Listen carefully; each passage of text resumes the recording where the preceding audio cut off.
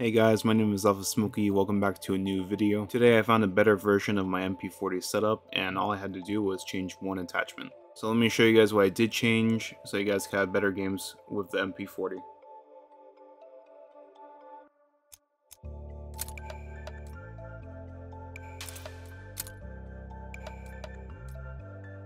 So as you guys see, all I did was change the magazine to the 8mm Kurz 32 round mag.